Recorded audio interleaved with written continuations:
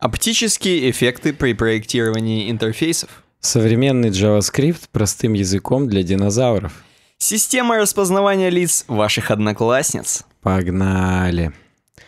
Всем привет, с вами проект UWeb Design, с вами проект Сиплый дизайн. Юсиплый дизайн, проект... э, Сиплые картавы у нас сегодня в эфире. Подкаст «Суровый веб», выпуск номер 142 у нас сегодня, и на календаре у нас 24 да, если я не ошибаюсь? Ну, вообще, вроде как типа того. Да, 24 октября 2017 года, и время 20 минут 12 по Челябинску. Но нам надо, как обычно, сказать, что здрав буде гарной девчины, потому что мы выходим, во-первых, на украинском. Мгм. Во-вторых, понимаешь, VR, я не знаю, чувствуют ли люди. Я думаю, как минимум AR они уже способны почувствовать на новых девайсах от Apple. А VR это только уже на PlayStationских Я, Oculus. я очень надеюсь, я очень надеюсь, Подожди, что... Oculus Rift же PlayStation Нет, купил? нет. Amazon. Да, по-моему. Ну, я... Какая-то крупная, страшная корпорация. Да.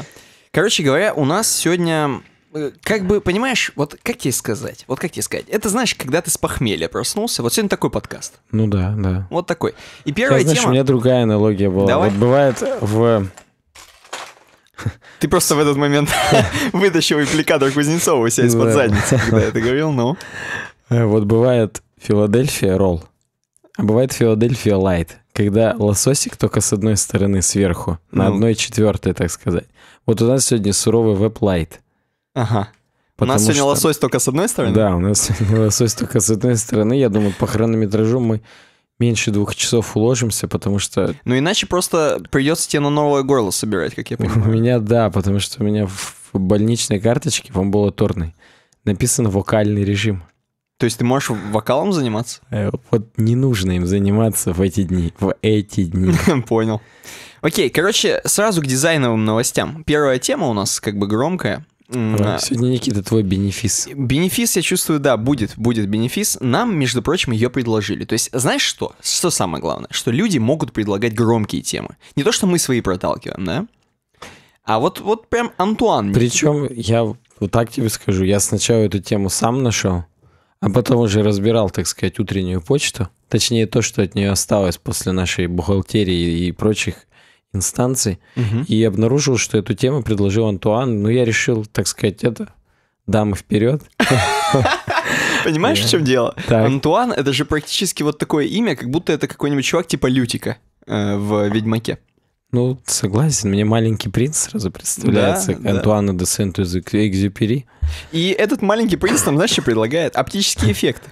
Да. Оптические эффекты при проектировании интерфейсов. Та самая тема, о которой уже было оговорено ранее. Так. Короче говоря, достаточно интересная тема, настолько интересная, что ее даже на Хабре перевели. Вот давайте посмотрим. Согласен. Я тоже открою перевод. Потому Вот. что, как бы, Ну, как бы мы же в украинском.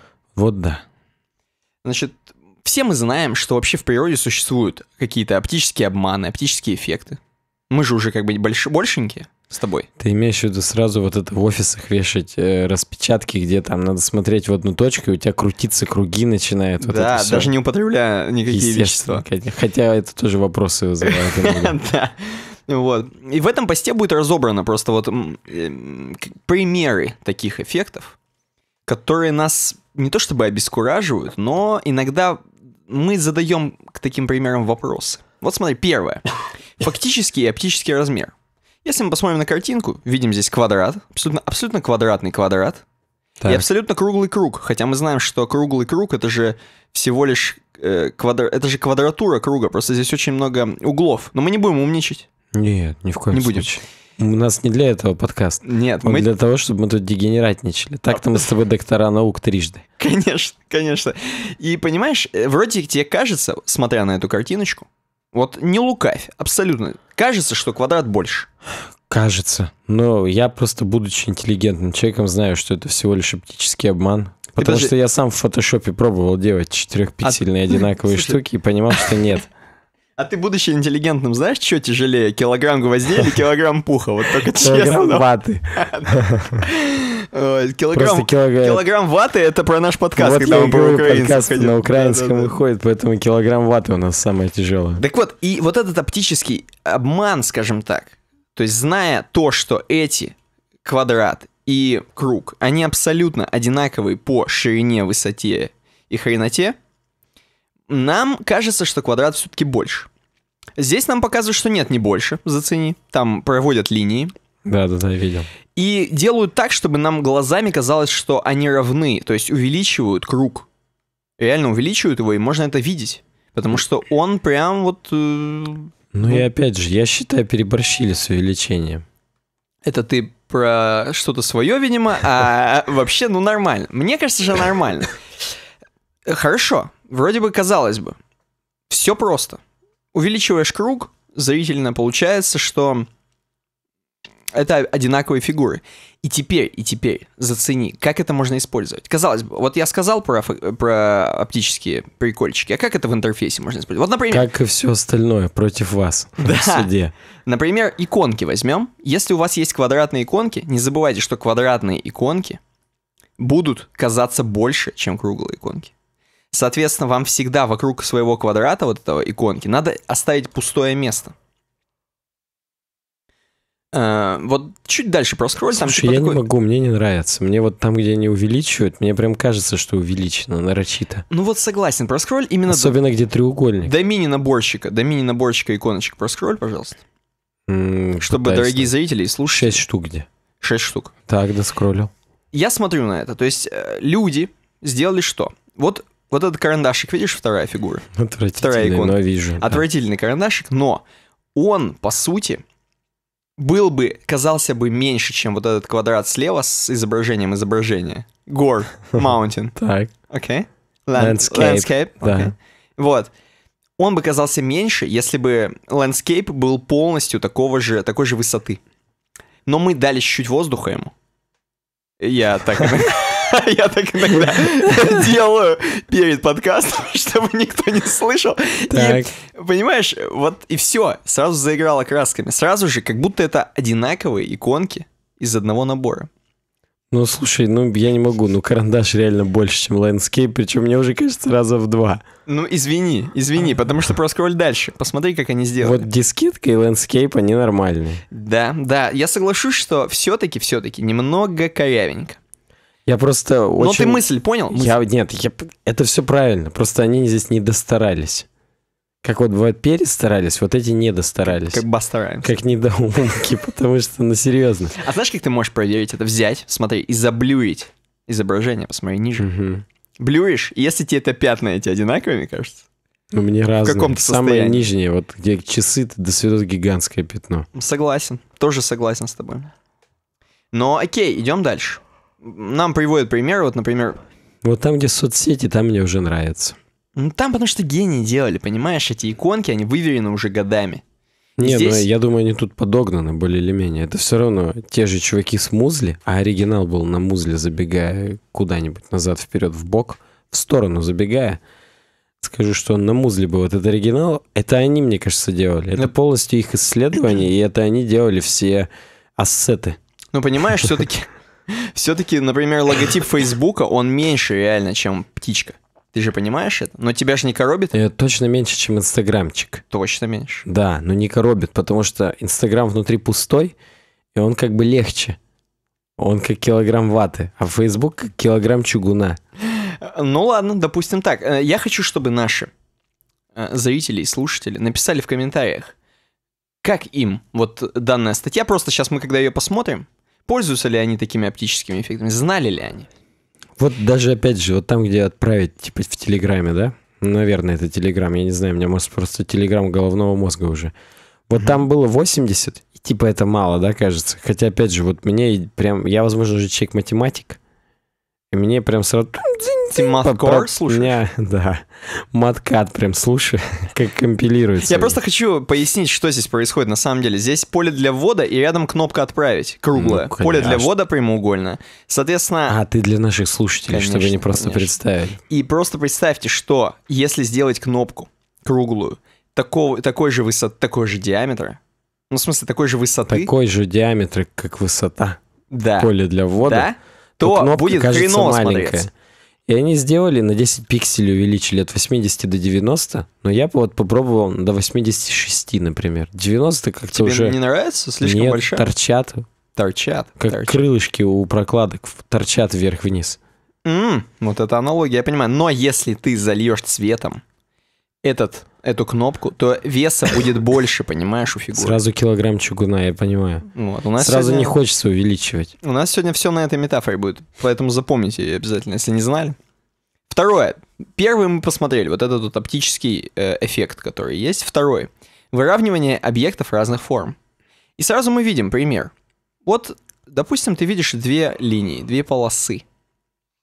И Так. когда обычно две- видишь две полосы, А Уже не пытаешься их выровнять даже, да. да, настораживаешься. Но здесь мы видим одну полосу прямоугольную, как бы с прямоугольным концом, а Так. вторую как ленточку такую.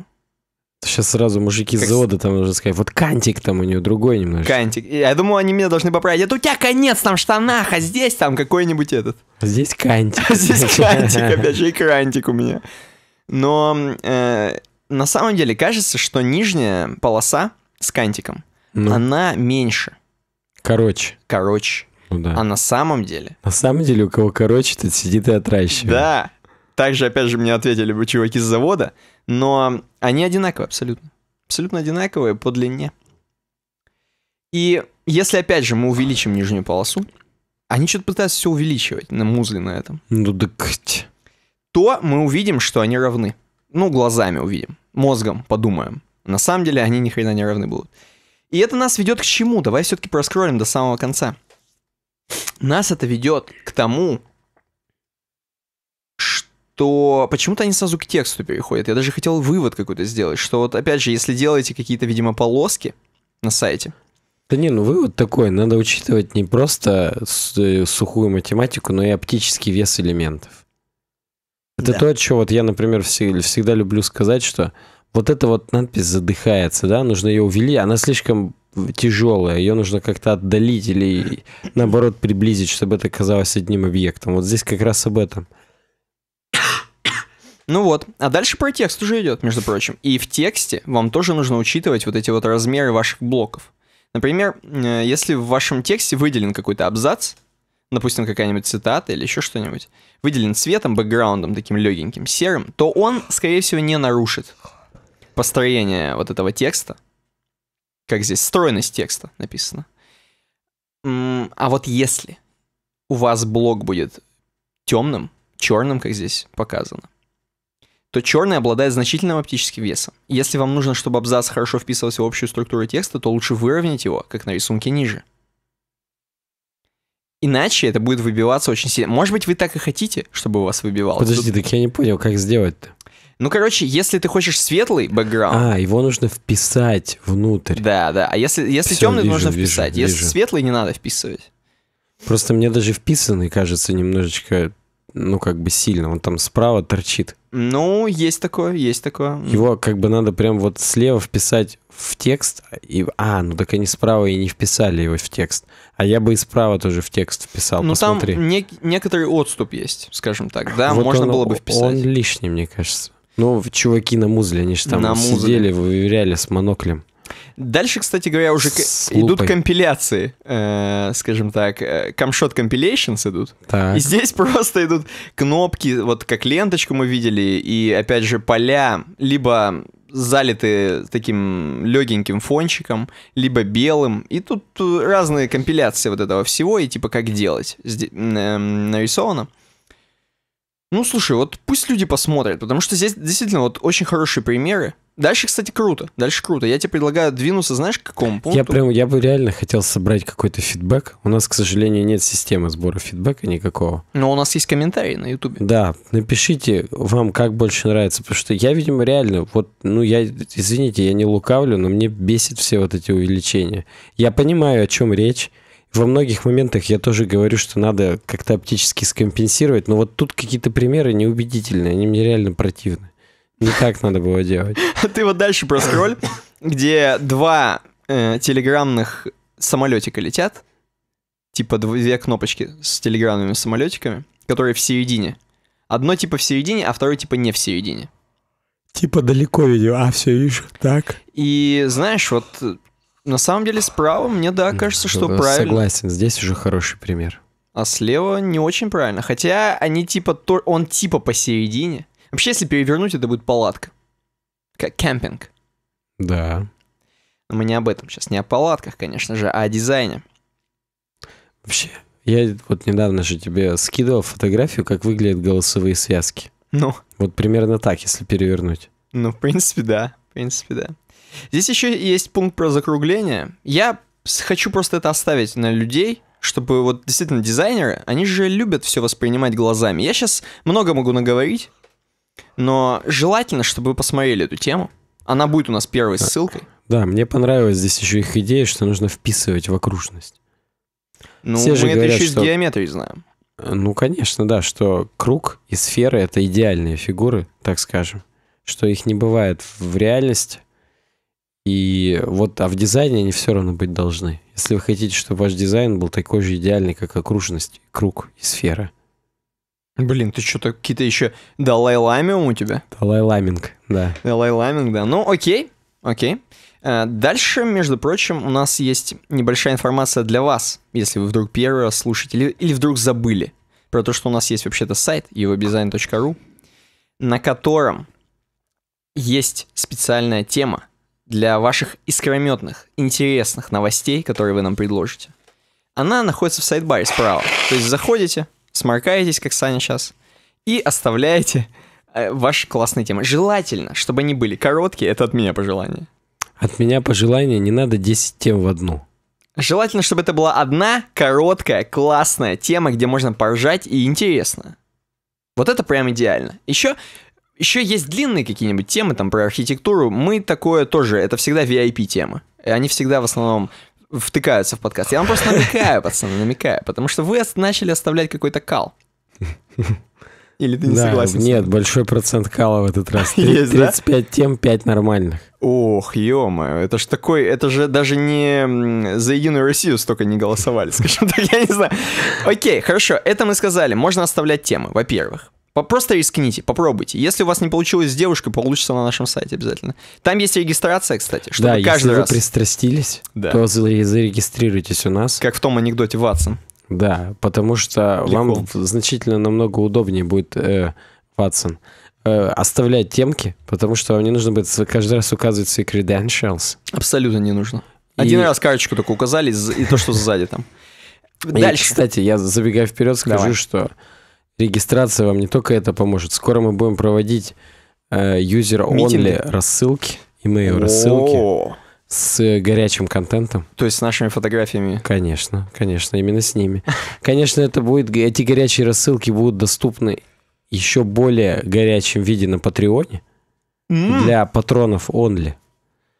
Но об этом мы объявим тогда, когда уже будет сам Patreon. А пока подписывайтесь, будет, будет классно. Ну, Я и- прям хочу вас заинтриговать всех, чтобы вас защекотало, чтобы вы как, э, как шикотан, чтобы вы прям на паузу поставили подкаст наш и побежали на uwebdesign.ru и пошли в сайт-баре регистрироваться. Между прочим, мне немного стыдно, потому что мы две недели ничего не выкладывали, но тем не менее, если вдруг по какой-то причине вот вам понравилось то, что мы делаем, случайно так, то uwebdesign.ru slash donate для вас есть.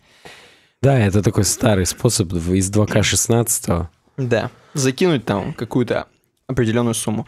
Вообще, недавно один из наших подписчиков, я не буду деанонимизировать его, я тебе, кстати, даже сам, Никита, об этом не рассказал. Я тебе потом, когда у нас будет перерыв, я тебе назову имя. А, Ну зачем? Зачем? Ну А ладно. пока скажу, он сказал, что, чуваки, я захожу на ваш сайт, меня каждый раз воротит. Ну, давайте я вам сделаю дизайн. И сделал? Я ему такой, «Пф, не, это сегодня было. Если бы он сделал уже, я бы у него, я не знаю, сделал. Ну вот, я говорю, так это, говорю, да, конечно, конечно, Конечно, ты что? конечно, хочется конечно, Джон, да, но я не буду деанонимизировать, правда, повторюсь. Да нет, ну Джон это хорошее. Джонатан, я бы даже сказал. Я говорю, конечно, сделай, это прям будет круто. Он говорит, ну, блин, вот, а если, типа, вот вам не понравится? Я говорю, вот ты, говорю, сделай. И прям вот даже если нам не понравится, мы вот выложим, В смысле не оформим. понравится? Я ему тем же самым его текстом. Вот захожу на твой дизайн, и вот воротит от него. Вот да. Поэтому тут как бы... Не, он мне свой Behance скинул. Там, в принципе, обычно. Там круто? Там как бы там дженерик дизайны из 2К17. Яркие цвета, как бы clean, simple. Ну, Clear. ждем тогда, то есть. Вот. Он сказал, ну, короче, вот я закончу один проект, может быть, в ленивом режиме сделаю когда-нибудь нет. О, круто. Вот, вот. Вот это я люблю. Я теперь вас призываю, чуваки, еще больше ленивых дизайнов для нас сделайте, и мы, может быть, да не может быть, мы вас всех поощрим. Каждый, кто хоть какой-нибудь законченный проект сделает для UWeb дизайна VD Games, получит бесплатный стикер. Вот так вот. У ни хрена ты дал. Я под свою ответственность. Я думаю, делаю. никто не сделает. А, равно. так если никто не сделает, то два стикера. Ну ладно, мы, мы слишком долго про это говорим, особенно славим какого-то Джонатана. А, А мы как раз, по-моему, его и не очень славим. между прочим, между прочим, у нас есть канал и группа в Телеграме, представляешь? Конечно. Я-то как никто представляю. Вот, абсолютно, можете узнать эти все ссылочки.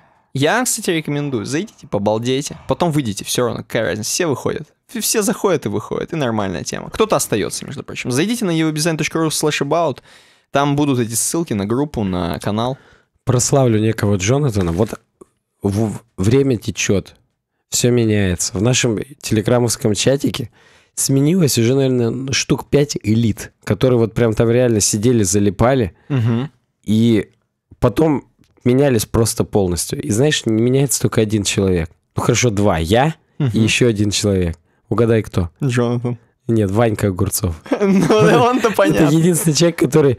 Он с нами всегда и до конца. Он, конечно, выходил тоже в один момент, но он возвращался, потому что все равно все возвращаются к нам в, э, чатик, поэтому uwebdesign.ru slash about. Посмотрите там ссылки, подпишитесь на нас. Да, в том числе у нас есть, кстати говоря, стикеры на ВКонтакте, в нашей группе, э, в нашем паблике, простите, vk.com. Я, как старый человек, буду говорить, что в нашей группе vk.com slash design там есть стикеры, просто есть, просто зайдите и посмотрите. Э, Напоминаю, в прошлый раз, когда мы на полном серьезе, как ребеночка через дорогу перевели за ручку и показали, как это делается, Как заказа- делается заказ. заказали еще столько же стикеров, сколько заказывали за предыдущие два месяца. Поэтому я и пытаюсь повторить как-то успех, я показываю, слушатели просто представьте. Вы заходите на vk.com slash uwebdesign, потом видите товары сразу под закрепленным постом. Здесь на данный момент два стикера. Я жму на один из них, у меня появляется большой такой поп-ап, и в- нем я могу нажать кнопку «Написать продавцу». Пишите продавцу, кто вы и что вы, сколько вам надо и каких, и мы вам все ответим, все распишем. Кстати, Никита, тут недавно меня спрашивали, а что делать, если я из Челябинска? Ты, ты что делать, если ты из Челябинска? Да, ну тут уже ничем не поможешь. Ага. Э, В смысле стикеры. Но то есть, э, это же же- ты же понимаешь, что это нарываются на личную встречу? Нет, это нарушает на скидку, нарываются на скидку. Типа, а чё? Зачем мне платить за доставку, если моя доставка стоит 23 рубля на маршрутке? Во-первых, у нас э, все стикеры кладутся в тайные места. И потом в ИРК-чате об- тебе напишут, куда нужно подойти, чтобы забрать эти стикеры. да, обычно так. это в какой-то подъезд ночью надо подойти, приподнять электрощитовую. Поэтому я не знаю, что они там хотят, какую доставку. Ну, наверное, можно решить как-то полюбовно с такими людьми. Ну вот мы с тобой тоже посовещаемся, как это сделать. Можно послать их еще. Как вариант. А, ну слушай, а если это особь женского пола, например? Это все ко мне. Ну вот. Это, ко мне. Поэтому я и говорю, что мы с тобой решим тоже полюбовно этот вопрос. Да, мы-то с тобой точно по-любому. Ладно, окей. Э, Классическая наша вот это была эм, минутка новостей. Сейчас, между прочим, между прочим, продолжая как бы дизайн, знаешь, вот э, честно, честно, будем говорить про, Dropbox, да? Будем говорить про Dropbox. Они постоянно славятся своими дизайнами. То у них, значит, нарисовано так, то у них там какие-то, блин, такие очень классные хипстерские рисуночки, как от руки. То у них супер флет, то у них еще что-то, то вот они сейчас что-то сделали. И мне хочется узнать, ты вот, во-первых, как я понимаю, мы с тобой не каждый день ходаки в Dropbox. Нет, я ходок, но я ходок через десктопный app, поэтому я не вижу, какие у них там дизайны. Вот, да, я имею в виду через веб точно не ходок. Стопудово Окей, нет. ну давай, расскажи, что там. Кстати, они э, здесь объяснили, что, дескать, мы как бы вот много меняли, но это все так. От лукавого. Налей мне водички, пожалуйста. Мгм. Налей из чайника остатки теплые. Хорошо. Не прошло и месяца, как мы решили все-таки обсудить здесь, в нашем подкасте, редизайн Dropbox, который случился, ну, по крайней мере, на веб-дизайнера Депо написали об этом 3 октября. А случился он, может быть, как бы и еще месяц до этого, я не знаю, спасибо.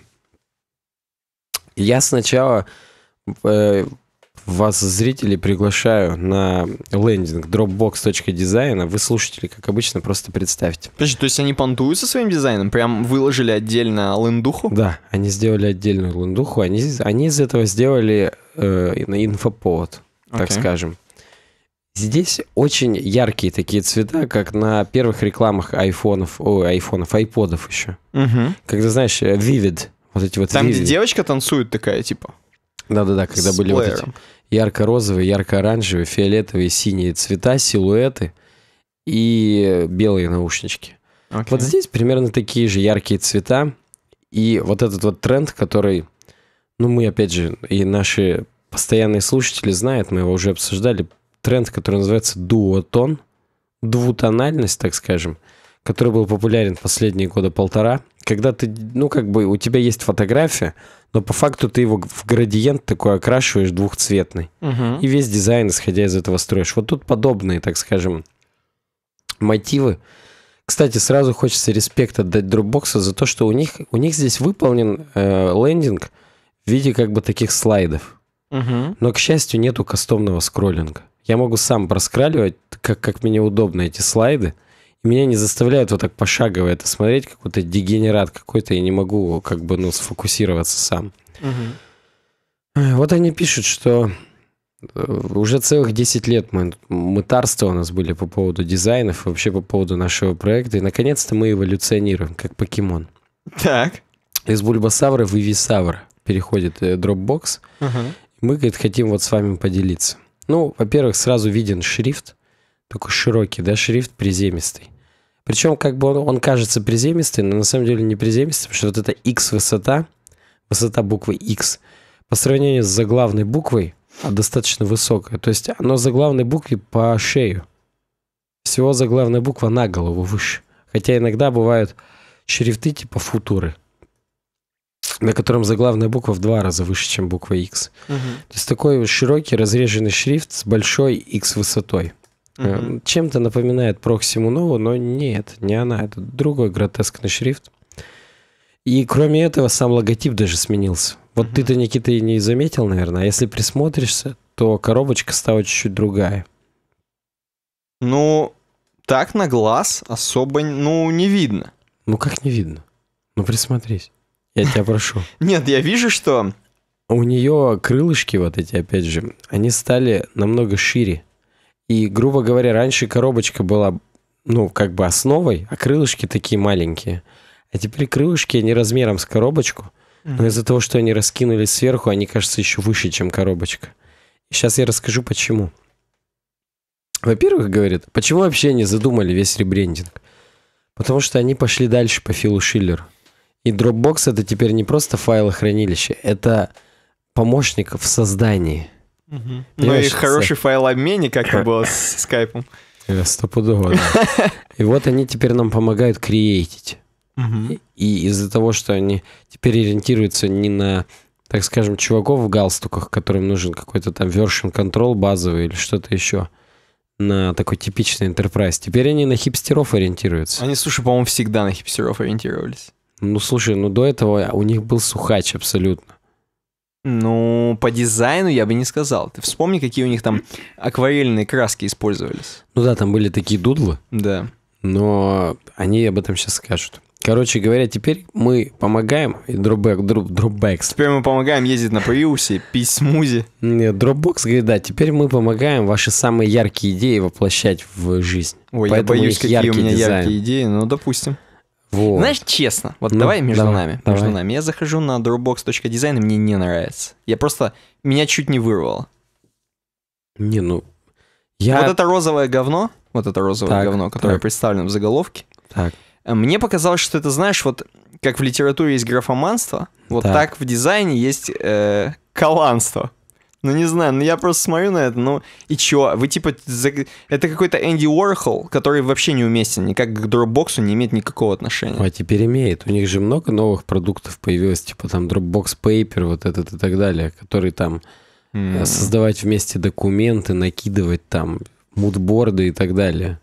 Ну, допустим, ладно, хорошо. Я надеюсь, что ты меня переубедишь. Я тоже не буду пытаться. Я просто, я надел на себя маску вот того Хипстер. самого чувака, который стереотипному понравится этот э, дизайн. Мгм. И вот в этой маске я пытаюсь пропустить его через себя. Логотип. Теперь, говорит, у нас не просто коробка, а у нас пространство. Поэтому вот эти крылышки, они, видишь, ну, грубо говоря, оно все еще осталось коробкой, то есть узнаваемость сохраняется. Да. Это вот как я люблю говорить, типа, вот если мы переделываем логотип, все равно должна быть преемственность. Чтобы чувак шел в толчок, абсолютно мимо, вскользь взглянул на новый логотип, и он В толчке подумал, уже. да, уже в толчке подумал, а, это его дизайн. Мгм. Как бы там планетка чуть-чуть сменилась, другая ракета уже летит. Но чувак все равно, а, ну это его дизайн, понятно все. Чтобы ассоциация вот эта осталась прям вот на бессознательном уровне, чтобы спинным мозгом он учуял нас. Очень круто это делают, кстати говоря, дизайнеры автомобилей. Они все вот, и у них все линейки практически автомобилей, каких-нибудь там условных Ford или условного там, не знаю, Peugeot. Ну. эм, Mitsubishi хочется еще сказать. У них вот эти фары агрессивные. Да. На любых Mitsubishi. Они постоянно их вот придерживаются. Как бы они их ни меняли, но всегда похоже. Ты можешь 60-й взять тачку и 2017 и вот у тебя будет. Ну вот, дропбоксы бы у них поучиться, во-первых. Ну ладно, это, это шутка. На самом деле логотип все равно узнается. Да Но теперь нет. это не коробка, теперь это, так скажем, слои. Практически как в Google Material Design, материя, которая приподнята на разный уровень просто. И вот это Ой. пространство для создания чего-то Ой, нового. ты с пальца высасывали. Ладно, давай, продолжай. Согласен с тобой, что это, это в большинстве случаев надуманное говно, но вот тем не менее. Э, Мы можем говорить, кстати, здесь вот э, на некоторых слайдах есть робкая кнопочка Open. Вот там, где шарик. Вот этот вот. Так, шарий. Я жму Open. Там слайд-шоу, там сразу моча на дне реки на втором слайде. То есть на наших подписчиков ориентируется остальные. Э, Дальше там какой-то просто дропбокс цвета какашки. Это на вторую часть наших подписчиков, видимо, ориентируется на... это на нас ориентируется. Да. Ну, короче говоря, высосали из пальца на самом деле, но теперь супер художники к ним присоединяются. То есть вот это вот типа фотографии именитых фотографов и так далее. Я понимаю, что это все вот с каким-то с каким-то прицелом на кого-то. А вот они говорят о том, что мы, говорит, вот раньше всегда дудлы иллюстрации использовали. Это, говорит, мы вот все 10 лет себя искали и наконец-то нашли. Ё-моё, что-то... пальца. Понимаешь, в чем дело? Я Ну. тебе объясню. Им надо было тогда не так сделать. Маркетинг понятен. Есть художники, они загружают большие изображения, им нужны большие размеры дропбокса, мы на них зарабатываем деньги. Надо было э, пойти другим путем. Надо было снять, э, сделать такой видео-хедер, чтобы там э, на GoPro было снято какое-нибудь дерьмо, чтобы чуваки, которые видео снимают, загружали в Dropbox свои видосы, чтобы сразу не хватало ничего. Да, там сразу придется супер про план покупать и так далее. Да, и курить его, видимо. Ну, окей, и что, у тебя еще есть что сказать по Dropbox? Что они там еще? Как сами? Есть. Давай-ка. Шрифт Sharp Grotesque называется. Я тут пытался, так сказать, высрать, вы, высать, как он называется. Вот Sharp Grotesque. При этом э, само семейство насчитывает 259 шрифтов. Это вариабельные шрифты. Что между ними общего остается, я понятия не имею. Но, видимо, начертания самих букв, хоть они искажаются там во все стороны. Ну, короче говоря, они типа сделали супер-мега-систему, поработали. И нам с тобой нужно просто отметить их старания. Несмотря на то, что это не старания, а мытарства какие-то. А, пометить можно их старание? Они их сами уже пометили, когда сделали dropbox.design. Так вот, а. А в статье? мы-то с тобой, да, рассмотрели сейчас сам Dropbox дизайн, а в статье веб-дизайнер Депо, автор, который Бен Мосс, он, в принципе, говорит, что а прикольно, что, почему бы и нет. Вот, вот такой у него Вот это рецензия, я да, понимаю. то есть он, в принципе, на самом деле просто пересказал тоже, как мы примерно это сделали. Мгм. И он сказал уродливо, но смело. Вот, слушай, вот он хорошо сказал, в точку. В общем, он говорит, хотят, чтобы люди больше работали вместе в дропбоксе. Не, ну, знаешь, просто на что похоже? Ну. Вот уродливо он смело. Это похоже на то, что дизайнеры, э, им нечем было заняться. И им сказали, а что вы делали целый год? И они по-быстрому накидали вот эту шнягу. Мгм. Потому что как бы... Ну а как? Надо же обновить. Ну, слушай, а это как вот э, логотип Инстаграма последний. Мгм. Тоже очень много спорных этих вызвал, но сейчас же все привыкли уже. Да, да, просто Dropbox никому не нужен по сравнению с Инстаграмом. Ну да, тоже верно. Окей, ладно, мы поговорили про это. Бен Мосс молодец. Он, слушай, похож на... Не знаю. Он похож на чувака из Evanescence. Как его зовут? Бен Муди. Bring me to life. Короче, светские новости, смотри. Первая тема достаточно прикольная. Знаешь почему? Во-первых, потому что ее предлагает А. Михайлов, дорогой наш. У тебя с ним теплые отношения? Абсолютно. Знаешь почему? Потому что у него Keep Calm and э, Alon... Короче, у него там что-то крутое. Alon's Y. И, судя по всему, это отсылка к этой к доктору Кто, потому что там Да, сверху да. его синяя будка, которая называется Тардис. Ни хрена ты выдаешь, ты как будто поклонник доктора кто. Я... Вы ты не представляешь, какой у меня сейчас был тротлинг процессора, просто 150% загрузка, 100, 100 градусов Цельсия, чтобы вспомнить. И он предлагает нам рассмотреть на T-журнале, на T-журнале статью про то, что ВКонтакте 11 лет, прикинь, 11 лет. Я тебе скажу, у меня, э, как раньше можно, модно было в Аське понтоваться, шестизнак. М-м. Только у меня, по-моему, семизнак, что... Блин, семизнак, что ли, я не помню. Я сейчас посмотрю. Но мы все уже давно с- со ВКонтакте. Уже нет никакого вот этого раньше, как... э, У меня очень давно, когда мы еще зарегистрировались, мы, я так говорю, как будто я с кем-то зарегистрировался, э, семизнак у меня, семизнак.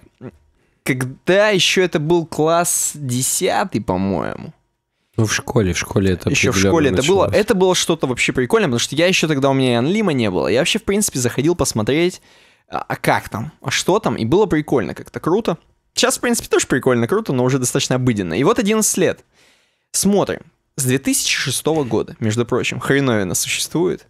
Здесь есть скриншоты. Ну, вообще, 2006 год это как раз наш 10 класс. А, ну вот. Э, Зацени, какие скриншоты. Как выглядел ВКонтакте в 2006 году. Да я как сейчас помню, на самом деле. Как сейчас помню, может быть, э, наверняка, наверняка есть какие-нибудь плагины на Chrome, чтобы сделать обратный дизайн старого ВК. Кстати, да. Ну, Наверняка есть э, некоторые письма. Я даже вот этот блог Дурача, я тоже его помню. Да, кто такой Павел Дуров, кто такой Николай Дуров. Хотя про Николая Дурова там мы читали в прошлой, по-моему, в прошлом подкасте. Не, по-моему, уже хрен когда И, может быть, и хрен когда, я не знаю. З- Зацени сразу 2007. В 2006 это было просто ничего. Практически какая-то, ну, непонятная сеть, которую создали вот два чувака. В 2007 благодаря сервису обновления формируется первая лента новостей. Ну вот там как раз новости появились. То есть, представляешь, в 2006 не было новостей. Ну хотя... Слушай, вот я не хочу лукавить и врать, но кажется, и это даже помню. Вот была Потому что у жесть. меня Тайнлим с 2005 поэтому я-то да, застал. Ну, я-то скач- скачивал аватарки из интернета и ставил их на форуме на Челябинск. Вот это нормальная тема. Я была. тоже это делал, но это не ме- не мешало мне еще и там шастать. мобильная версия была. Вот кто в 2007 году сидел на мобильной версии ВК? Продолжу говорить. Ну, В 2007 я купил первый iPod Touch. то есть уже можно было в принципе, в Да, с того там было. Safari номер один, номер два. На Wi-Fi стандарта 802.11b. Ой, ностальгия, ностальжи. 2008 год, 2008 год, и мы видим здесь уже всякие подарки. Слушай, вот сейчас соврать, да, 2007 год, первый iPod Touch. Он еще не вышел тогда. Значит, 2008. Ну, как вот только он вышел, я его купил. Между прочим, 2007... Причем с рук. Да? Да, я же его Рисковый. купил на Авито. Рисковый пацан. Э, Уже тогда Авито было? Представь себе. Я даже... Ну нет, да, это был точно 2008. Я просто почему помню, что я на главном нашего универа встречался с этим чуваком. Чтобы он тебя не избил вдруг. Тогда-то это было в диковинка. Конечно. Сейчас-то чп. Сейчас сам и забьешь скорее. Сам, Слышь ты, иди сюда. Да, отдай мне iPod Touch первого поколения. Представляешь, граффити было именно в 2007. Почему хочется вернуть 2007? Там были граффити. Вау. То есть, в принципе, года 2007 славится вот этой вот э, стыдной для нас вот этими вот стыдными атрибутами, такие как граффити, э, Челки. ягуар, это я не про автомобиль, челки, эмо и так далее.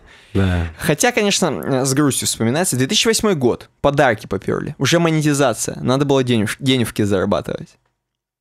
Пошли подарки, которые мне до сих пор, если честно, я не знаю, что с этими подарками делать, не вообще вот, ну не знаю, ну зачем, ну можно дарить как бы, но они еще и стоят там, что, понты, по-моему. Голоса тогда, видимо, появились тоже в тот же момент. Да. 2009 год. Эм, в 2009 году ВКонтакте купил интернет-адрес vk.com. То есть до этого было все ВКонтакте. Да, я помню, вконтакте.ру. Вот, более короткий, удобный для продвижения на мировом рынке. Значит, они тогда уже были, понимали, что, в принципе, они сильны, мощны, потому что купить vk.com это э, как бы серьезная Да, заявка. Ну, какому-нибудь бомжу, может, принадлежало. Ну, но конечно, Он такой, блин, не продешеветь, не продешеветь. Пять тысяч рублей. Продано. Бутылка водки. Да. Потом подумал, нет, две, две бутылки. И все. В 2010, 2010, между прочим, был вообще эволюционный момент. Тот самый момент, который называется «Дуров, верни стену». Когда все перешло в микроблог. Я помню этот момент абсолютно хорошо. Многие батхертили. Я тоже подхертил. Честно скажу. Честно, везде пописывал там, что стену давай верни. Мне не нравилось реально. Я прям вот... ну, Вот, то есть люди тогда не понимали, что, в принципе, э, скажем так, диалог может быть у каждой новости. Такого микроблогового типа. Ам, хотели просто полностью по порядку. Вот как сейчас мы новости, то, что мы батхертим, что сейчас сделают какие-нибудь новости, которые рекомендуемые, да? Ну, как сделают, сделали. Вот да, да. Вот. Навя- Навяжут окончательно. Навяжут окончательно, вот. И также вот стена тоже. Лайки, между прочим, добавили только тогда, когда появился микроблог. То есть на стене лайков не было, представь себе. Ой, это вообще, да ты посмотри, самое главное, что у него еще и репутация есть 85 тысяч. Ну это классика. Ой, я не могу. Между прочим, репутация прибавлялась, по-моему, и от подарков в том числе. То есть ты даришь подарок, Там, да, сначала надо было все заполнить до сотни, и потом вот у кого-то был 102, 105 Да, там желтенький. началось, вот, все началось, такие, вау, у него 105. Э, 2011 год. Закрыл свободную Подожди, подожди, написано, так выглядела стена до микроблога. Хотя здесь уже микроблог, по-моему. И так в чем, а подожди, а в чем тогда разница была особая? Ну, типа, не знаю, может быть, это они что-то не то пишут. Или это реально так стена выглядела. Просто она и выглядит как микроблог. В чем разница? Ну да. Какое-то странно. Я вот что-то у меня уже помутнение рассудка. Ладно, 11 год. Прил вышел на айфоне и андроиде. Был. Казалось бы, сколько лет прошло, а только вот Прил вышел. Добавляется возможность вести чат с несколькими участниками, то есть группы пошли. Точнее, чатики такие. Хэштеги. Страницы знаменитостей начинают верифицировать. Хочется сейчас вспомнить э, именно историю хэштегов. Но заметь, уже не такие большие изменения это во ВКонтакте. Уже просто добавляют какой-то там функциональчик. Ну, подожди, еще, еще будут сейчас большие изменения. 2012 год. Переезд. ВКонтакте окончательно переехал на доменное имя ВК. Вот это изменение это за год-то, а? Нормальная Прям, тема. Да, багфиксис. 13 год. 13 год.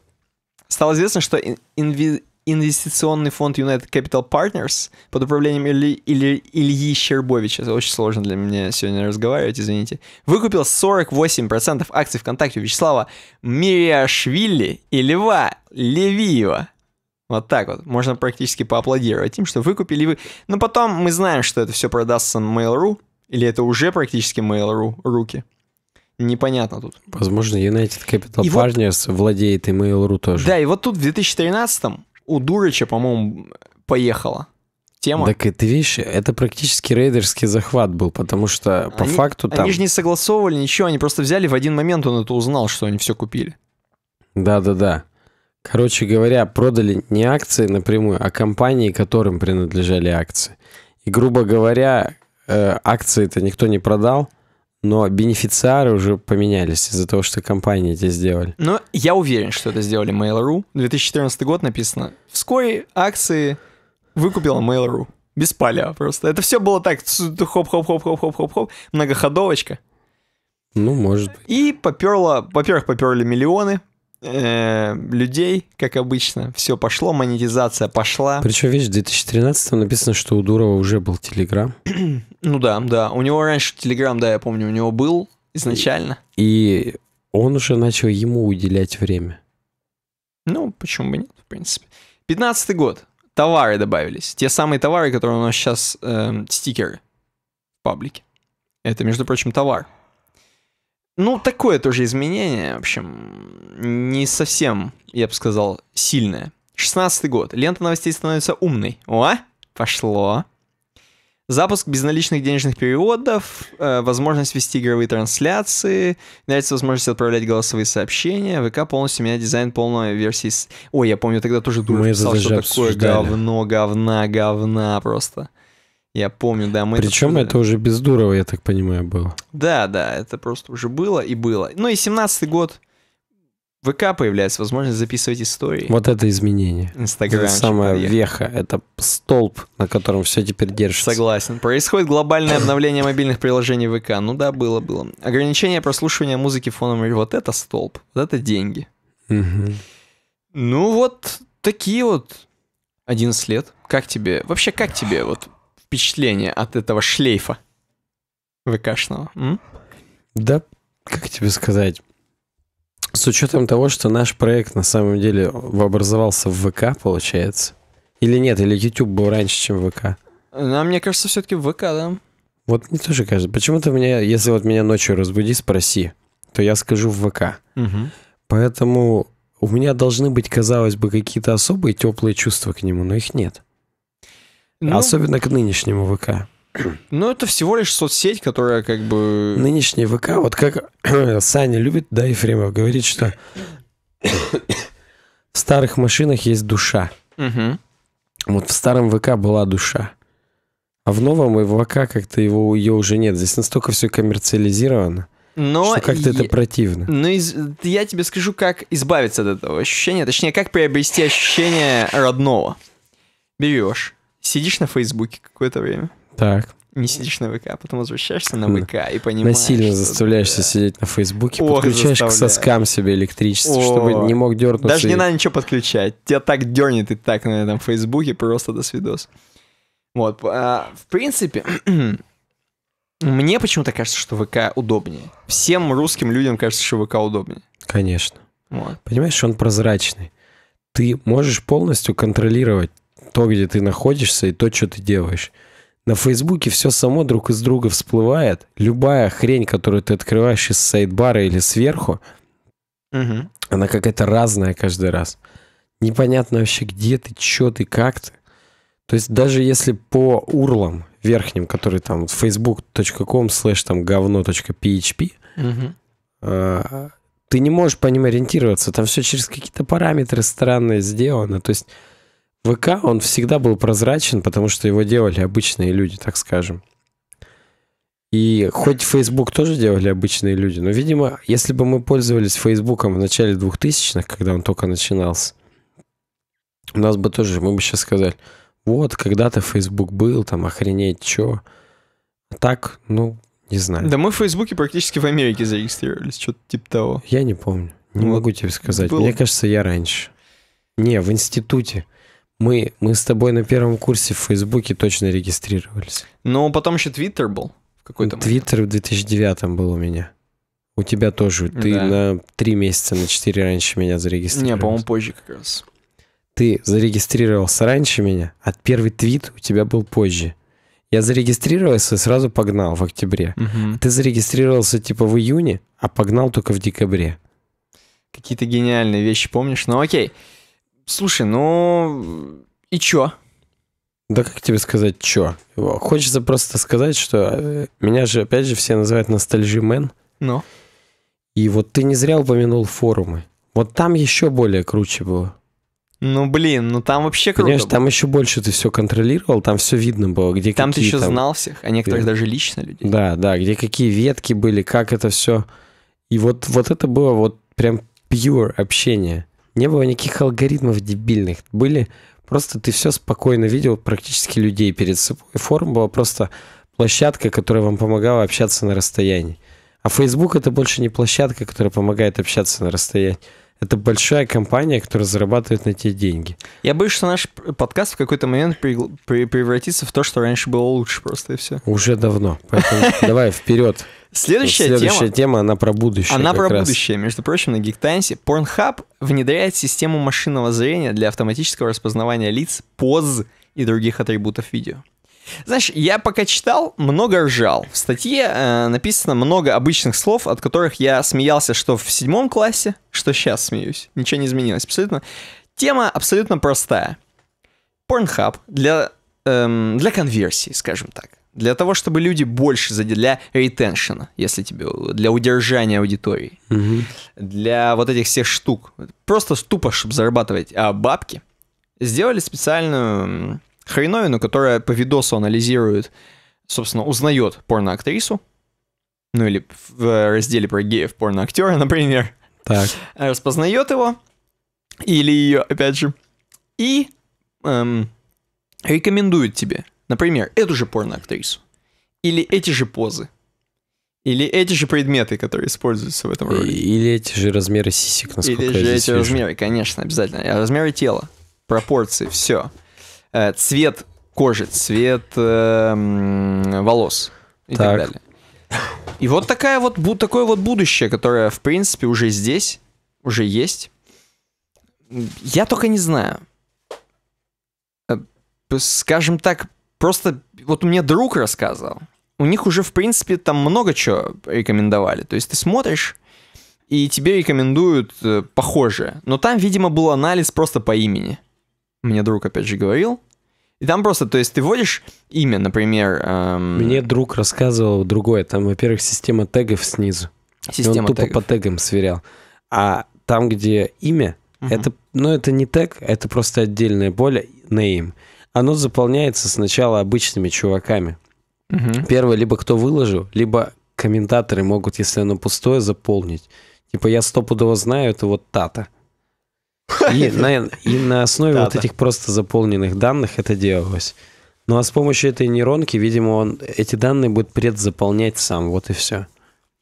Ну, кроме этого, здесь э, люди все мечтают о том сервисе, который будет эм, от, именно от Pornhub, именно супер умный, который будет тебе сразу за- загружаешь, опять же, фотки своих одноклассниц, Так. и тебе показывают ролики э, порноактрис. Или, возможно, уже одноклассниц, которые стали порноактрисами. Да, тебе просто находят Просто их и находят. Это самое релевантное. Да, и показывают с ними видосы. Вот. Но просто не так давно была новость про такой сервис, который тоже абсолютно бесплатный, просто загружаешь картинку и тебе показывают. И реально очень похоже. Мне, по крайней мере, другу моему понравилось. Нормальная тема. Вот. Короче, что еще я хотел сказать? Что еще я хотел сказать? Вопрос, зачем распознавать такие глупые вещи, как, например, миссионерскую позу? То есть, что есть люди, которые... Да хотя, в принципе, разные же люди есть, что я. Вот именно. Лучше кто-то, не задумываться, Кто-то да? про твое тоже скажет, зачем вообще все вот это? Ну, про мое-то понятно, но миссионерское. Ну, господа, ну come on, как говорит Wylsacom. Я бы по-другому поставил вопрос. По-моему, в каждом ролике уже есть все позы, поэтому их как бы... Но видишь, тут даже любительское видео. Во вдруг в любительском видео забыли на спину положить, Ну, слушай, скажем так. может быть, может быть. Э, Дальше идем. Дмитрий Скрипкин говорит, давайте за дизигн. И на самом деле за дизигн-то за дизигн, а новость-то все знают. Ввели новые банкноты. 200 рублей и 2000 рублей. Где? В стране X? В стране э, под названием Н, под названием Россия, Российская Федерация. У нас как бы на украинском выходит. Поэтому нам надо тут что, не хвалить, да? Тогда ты Рашкой должен был ее Ра- назвать. в Рашке. В Рашке вышли 200 и два- У меня Рашка прям как пенопластом по стеклу. Несмотря на то, что пенопласт по стеклу меня не бесит, меня бесит вилка по тарелке. Ну вот. И, понимаешь, 200 рублей. Вот ты сразу зашел, да, Так, на cbr.ru. зашел, Видишь 200 рублей. вижу. М, Цвет банкноты зеленый, зеленый, как баксы. Зелёный. Как евро.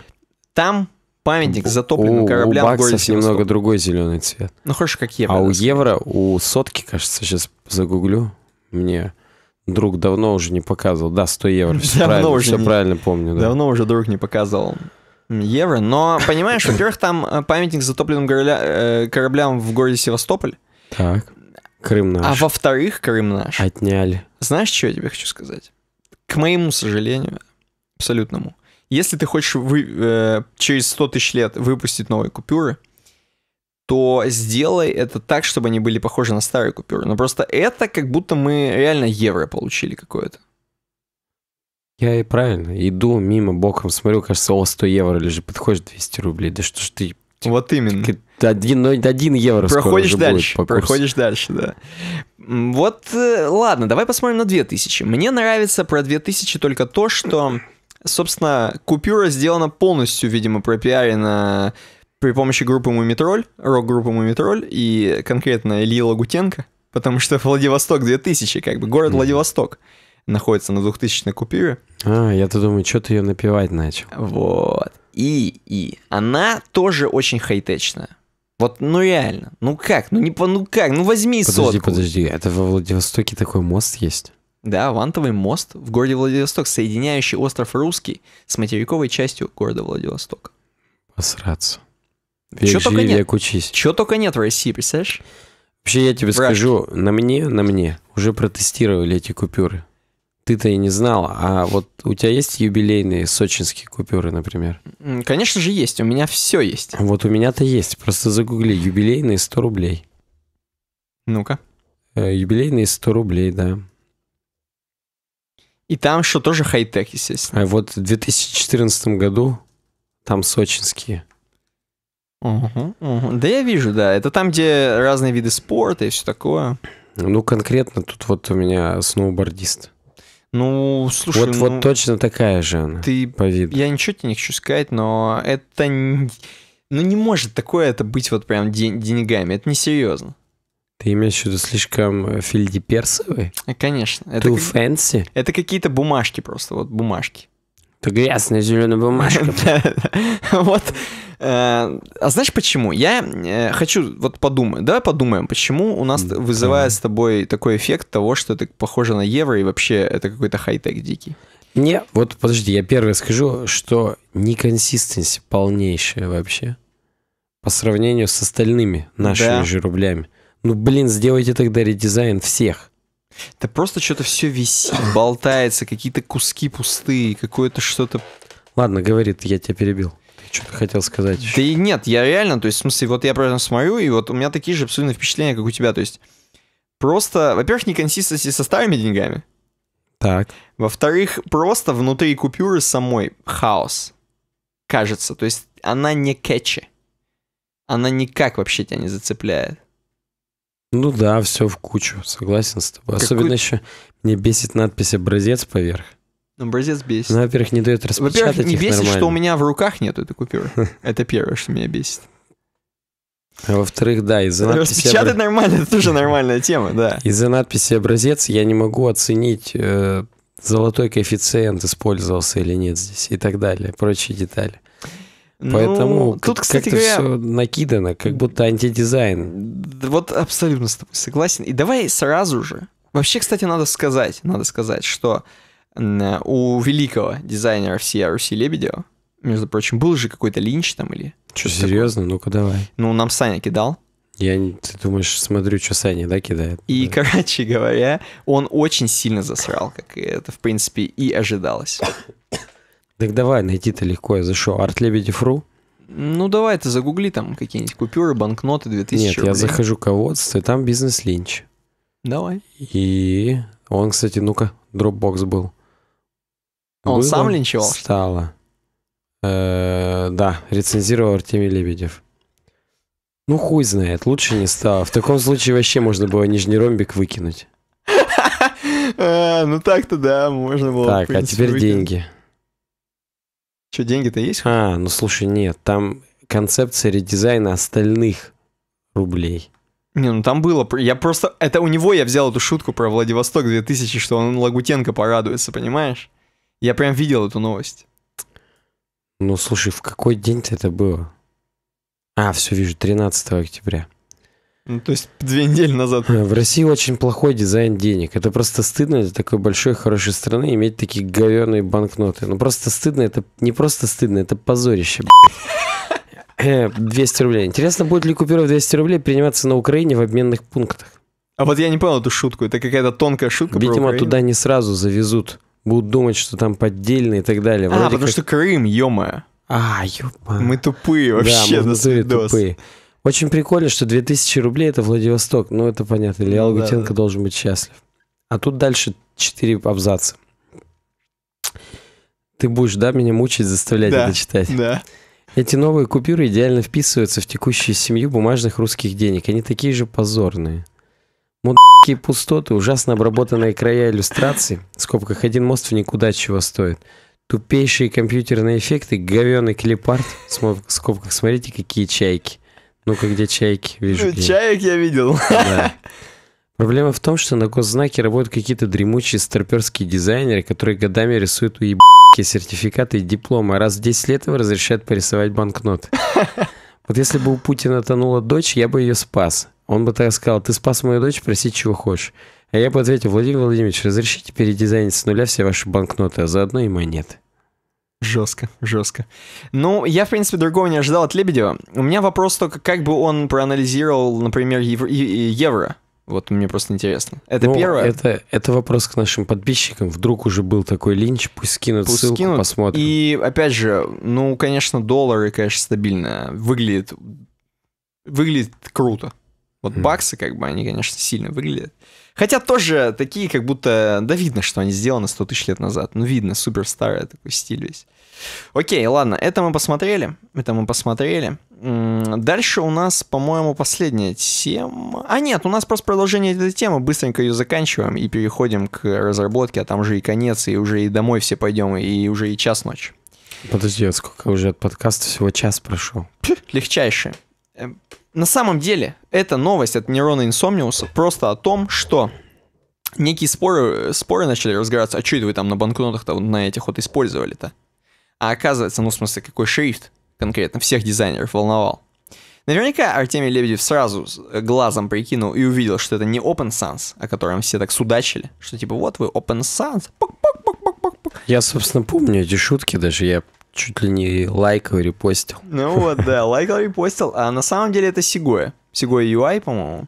Э, Майкрософтовский шрифт. Хотя мы-то Segoy UI с тобой еще в 2013 на Между сайтах прочим, да. использовали. Так мы тогда, когда это вышло, то ли восьмерка, то ли что там, то ли Какая-то, да.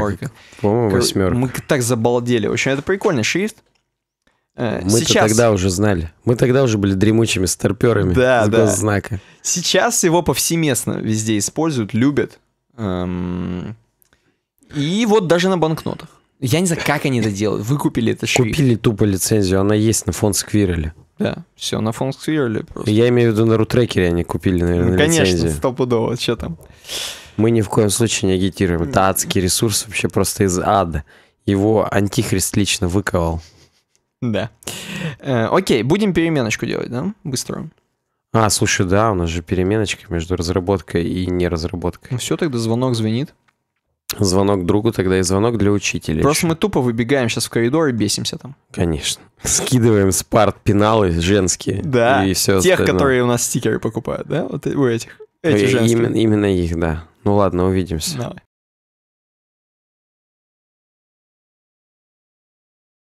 Так, я нажал резюме. В перерыве Давид попросил передать от него привет всем интернету. А деньги он заплатил? Он нам достаточно уже заплатил. Мне, мне лично. Не вижу. Окей, да. Вообще, в принципе, всем привет, кто нас слушает снова. Разработка. Че там? Ты же сам знаешь, какая разработка, как, какая вечеринка без водки и пива. Я, по-моему, уже второй раз шучу именно так. И там про JavaScript будет? Нет, про SmartApe. А, ни хрена себе. Тут вот недавно один из наших подписчиков в чатике писал, блин, не могу вообще, жизнь такая появилась после того, как VPS-ку первый раз купил. Мгм. Просто, говорит, вот небо и земля по сравнению с shared ом. Это, это вот как секс без презерватива. Ощущения совершенно другие. Это уже моя метафора, он так не говорил на самом деле. Он закончил уже в тот момент. В чем Да. закончил? Я просто начал не в Тору услуг ходить, по-моему. Ты сам себя топишься. Я сам себя он потопил, когда я его спросил, где он купил VPS, и он купил его не у SmartTape. Ну, это, знаешь, э, я считаю, что мы вообще зря про это говорим. Ты имеешь в виду недостойное упоминания такой человек? Он ничтожество, просто Ничтожество, чудовище. Smartape.ru uwebdesign.ru slash smarttape, да. Посмотрите, на самом деле у них самые лучшие условия. Не верьте никому, никаким рейтингам. Все рейтинги врут. Это как... э, Какие Вот. там? Эти рейтинги даже не грузятся, которые там были скинуты. Согласен, да. Это как рейтинги банков. Э, И это как войны между Тиньковым там, и Открытием и Рокетбанком. Они платят деньги блогерам туда-сюда, направо и налево за рекламу и антирекламу. И поэтому, ну, как бы, come on. Как можно это всерьез воспринимать? Вот мы здесь единственно искренне говорим о том, что SmartApe это лучший в мире хостинг. Даже если бы была теория параллельных вселенных правдива, в любой вселенной не было бы хостинга, который круче, чем SmartApe. Думаешь? Особенно для наших с вами российских реалий. Ну вот это согласен абсолютно. Да и я считаю, цена абсолютно вот ну, настолько дешевая. Смехотворно. Это смехатура. Знаешь, что только может сравниться со Smartape ом? Че? Телеграм-канал Warcraft Rus. Ну, базара нет. Вот он, вот он. От него прям привстает. От Smartape а только еще намокаешь, а от Warcraft Rus прям по лбу бьет. Понимаешь, поэтому вот все вперед туда обязательно. Warcraft, нижнее подчеркивание, Rus в Телеграме. У нас скоро как э, вот на этом, на сайте этого Линкарс будет рекламы. Столько же примерно. Ничего не знаю, реклама закончилась. Это, кстати, не реклама. Давай проект на пульке. Что там CSS3X? Там толстый что-то хочет поведать. Между прочим, Толстый стал пописывать опять сам на CSS Tricks. Сам на себя, я думал, ты скажешь. Ну, сам на себя пописывает только наш подписчик, который не на смарт-тейфе хостинга Он, у него просто настолько незащищенный хостинг, что я взлом. Я больше всего рот того, как ты прерываешься. Че, как я прерываюсь? А вообще всего... Я сам на себя пописываю от смеха. Я на ультразвук перешел просто одновременно со смехом невозможно в другой тональности разговаривать. Толстый реально пишет статьи. Хотел обойти все узкие моменты, скажем так. Он, видимо, до этого на конференциях разъезжал. А сейчас опять взялся за ноутбук. А Он же женился, по-моему. Он женился, да. Но это давно было, да?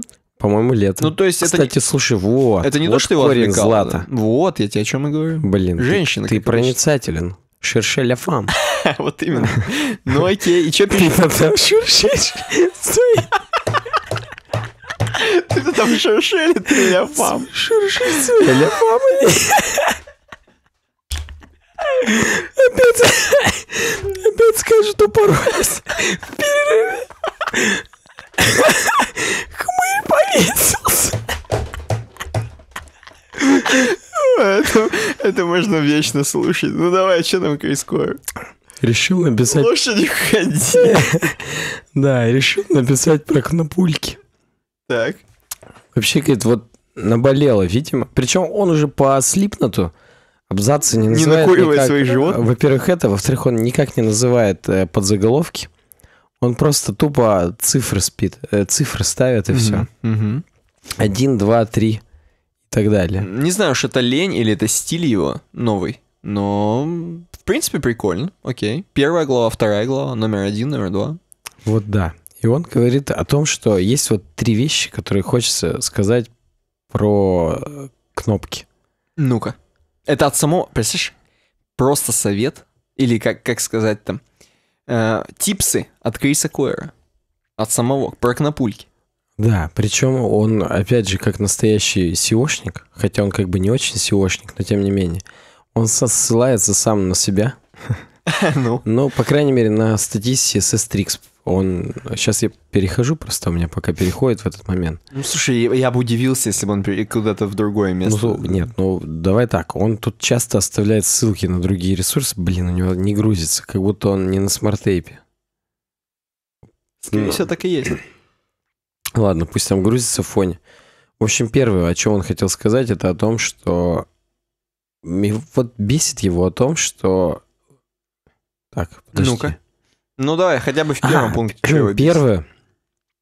Мне, говорит, нравится до сих пор вот э, Code Pen, который мы сделали, где кнопка из плея превращается в паузу там на чистом CSS практически.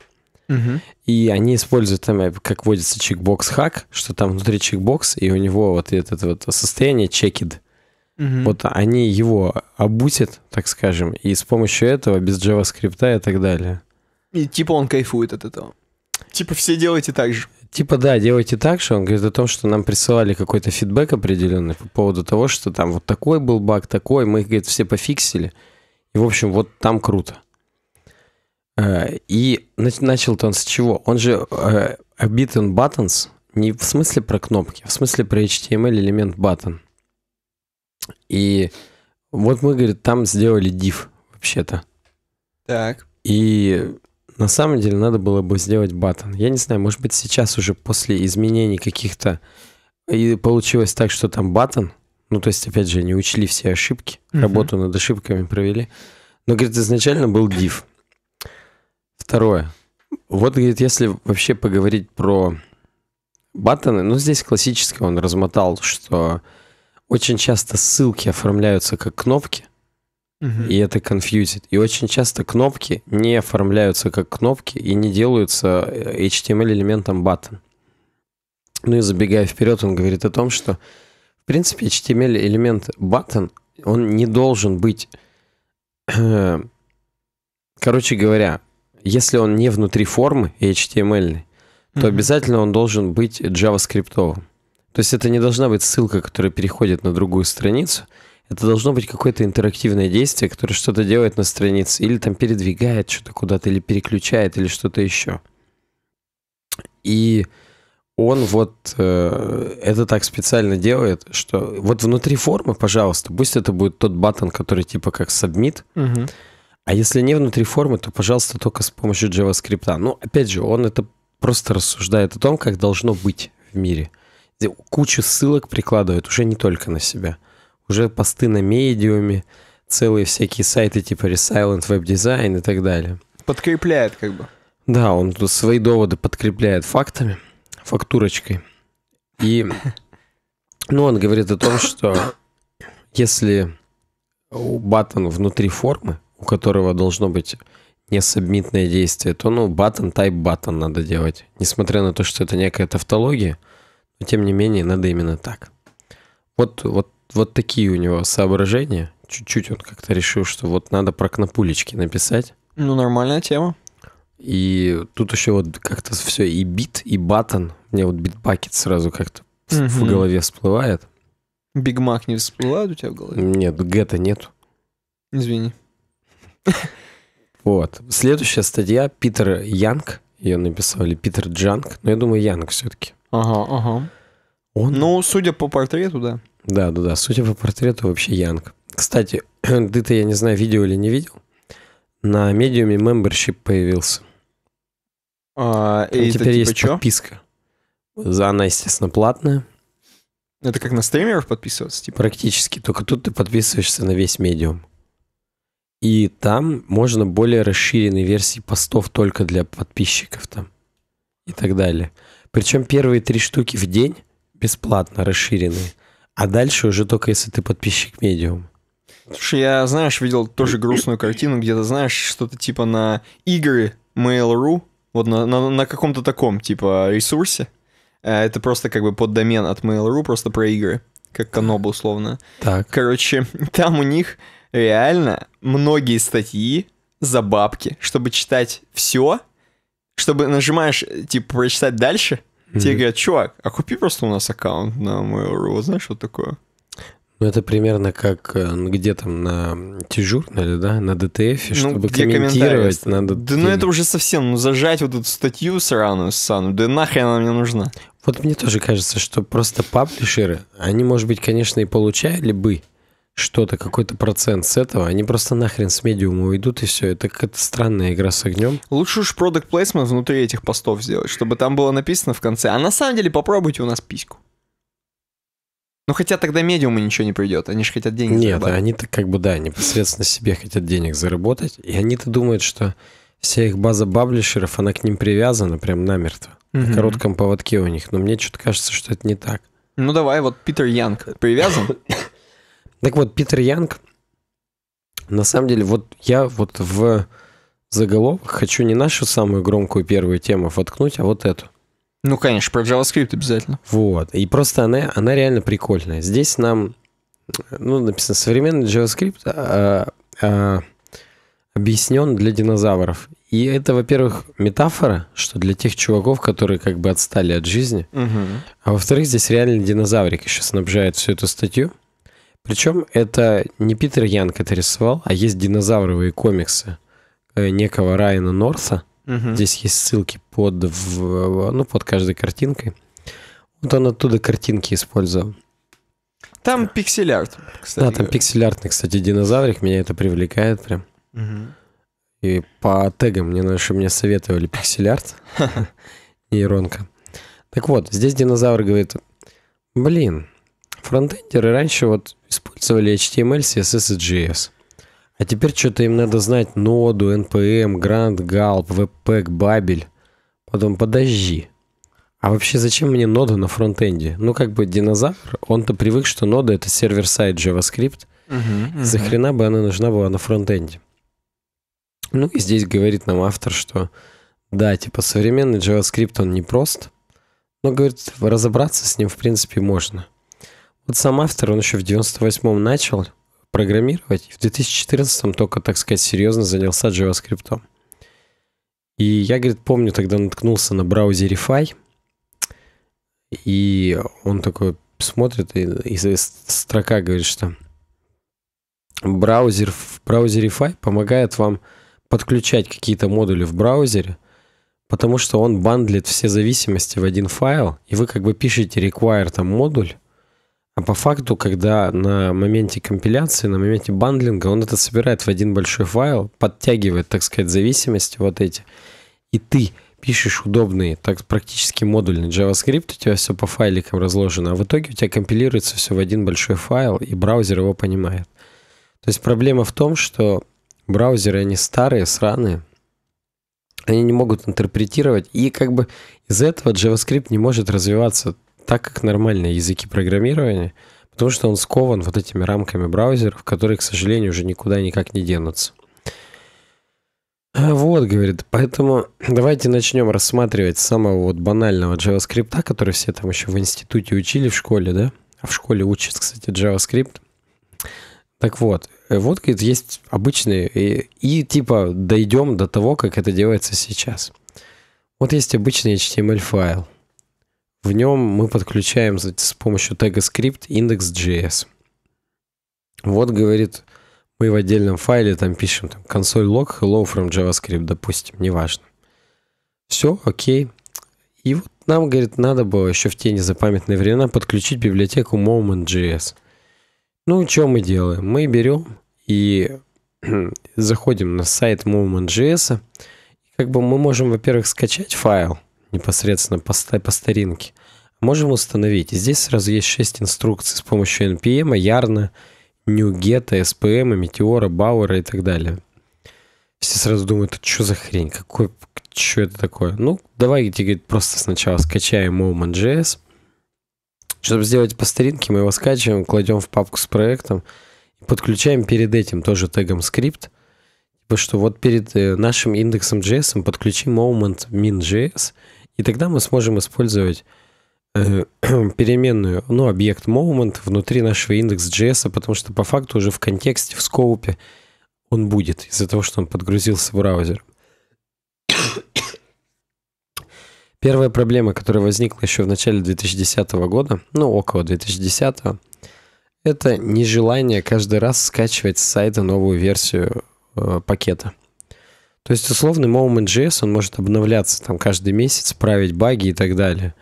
А каждый раз заходить, обновлять или там подписаться на Twitter Moment.js для того, чтобы следить, это было неудобно. Ну и вот поэтому начали появляться JavaScript пакетные менеджеры для того, чтобы хотя бы автоматизировать процесс скачки и version control. То есть, чтобы он при скачке там сверял версии, если что-то новое, то подкачивай, если нет, то нет. Самым первым популярным, ну не ладно, самым первым это от Лукао, я сейчас не готов вам сказать, одним из самых популярных в 2013 был Бауэр. Я даже Бауэром тоже пользовался, он в CodeKit был встроен во второй.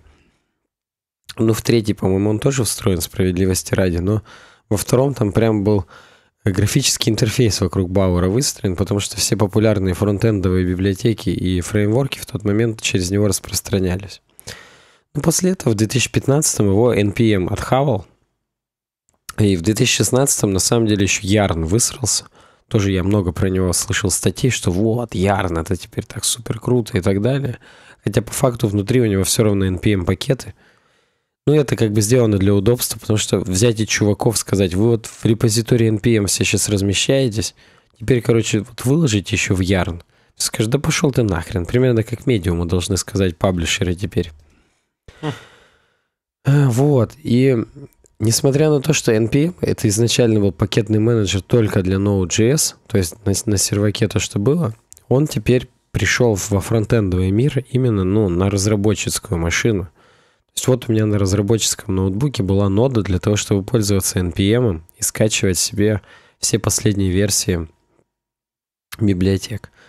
NPM, он такую штуку внедрил как э, манифестовый файл, ну в данном случае он называется package.json, который мы с помощью команды npm init создаем, и он типа нам говорит, что вот есть такой-то проект, есть такой-то JS-файл, он так называется, вот такие-то у него есть э, зависимости.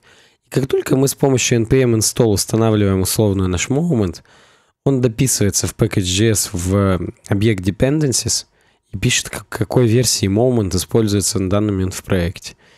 Все, естественно, добро, так скажем, в кавычках, скачивается в папку Node Modules, про которую мы все любим шутить, что она занимает больше, чем э, жопа твоей мам мамки.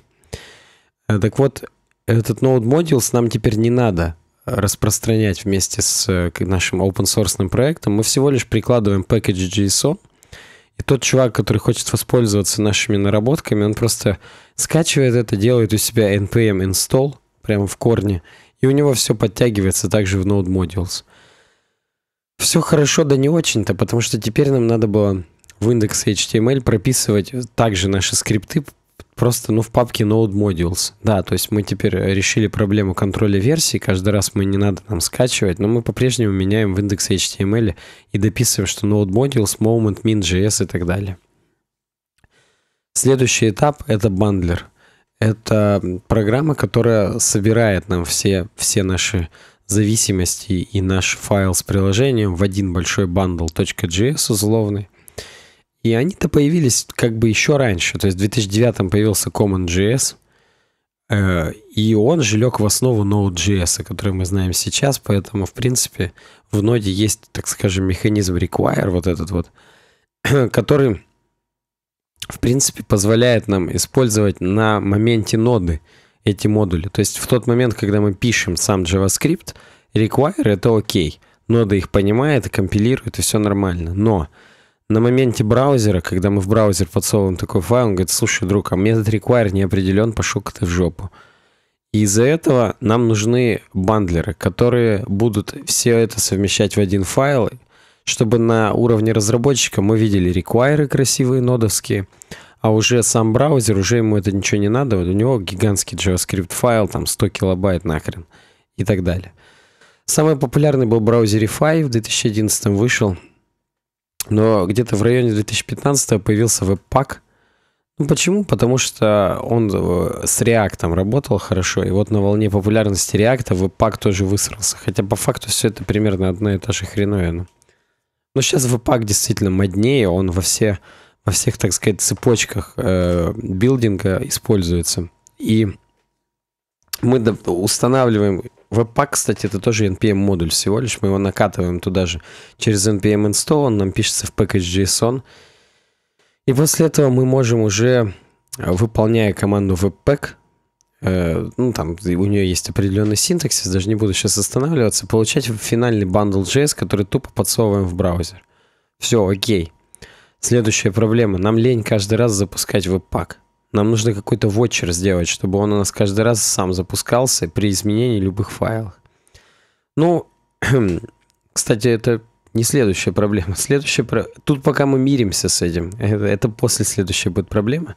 Следующее это транспайлинг. Ну, то есть появляются новые фичи, ECMAScript 2015, ECMAScript 6, который изначально назывался. И эти фичи не поддерживаются в современных браузерах, а писать на них мы уже очень хотим.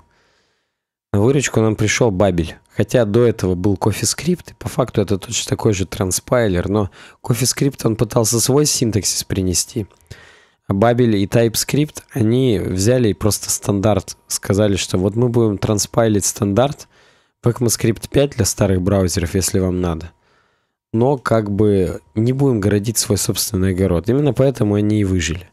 Бабель это тоже NPM-пакет, как нетрудно догадаться, а точнее даже целых три. Бабель Core, Бабель Present Environment и Бабель Loader.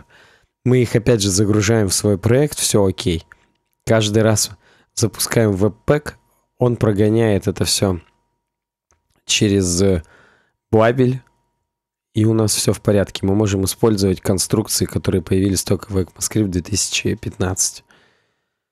Но, но, опять же, не тут-то было. Задолбало нас писать каждый раз webpack. Нам нужен task runner, который будет это делать за нас. В 2013 появился Grunt, потом появился Gulp. Gulp был более популярен, поэтому решили, что да.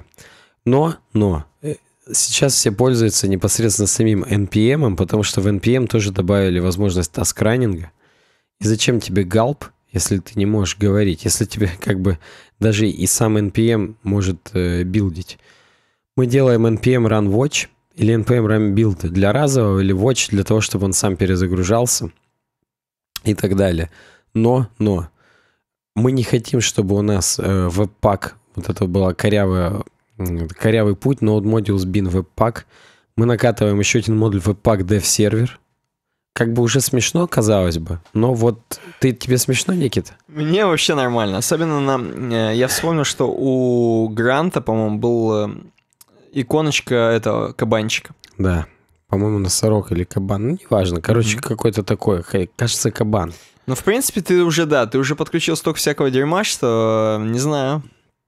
Ну вот, в общем, Webpack Dev сервер, он позволял еще и маленький веб-серверочек нам это все сделать, чтобы это перезагружалось еще в браузере, так сказать, обновлялось. Открывался прям localhost на порте 8080, стандартный для веб-пак веб-сервера, и там все это показывалось. И, казалось бы, ничего не может быть уже лучше. В скобочках хуже. да, хуже. Ну, короче говоря, по факту вот так сейчас все обстоит в JavaScript, но в task-раннеры мы можем еще кучу миллиардов тасков добавлять. Так что у нас в результате при сохранении каждого файла мы ждем еще секунд по 15, пока у нас все картинки пересожмутся, все SVG спрайты пересоберутся и так далее. Но вот такой вот он, фронтенд 2017. Ну или может быть даже в 2017 еще, понятно, надо свой фреймворк к этому ко всему прикрутить. Здесь, так сказать, общий, общий путь для любых JavaScript-программистов, а там дальше уже как бы Э, собственные детали пошли. Так что вот так. Ну, блин, прикольно. То есть, а представляешь, кто сейчас динозавр реально? Ну? Он же охренел от того, что сколько ты всего там наговорил. Ну, слушай, мне хочется верить, что я достаточно понятно объяснил, несмотря на свой голос. Мне тоже и хочется верить. даже каждый самый последний динозавр уже понял меня и пошел себе наконец-то все это установил. Все, пацаны, погнали. Финишная прямая. Мне супер уже тяжело, просто до свидос. Просто я сейчас наблюю на себя. Naked Science пишет. Новые данные свидетельствуют в пользу существования планеты X.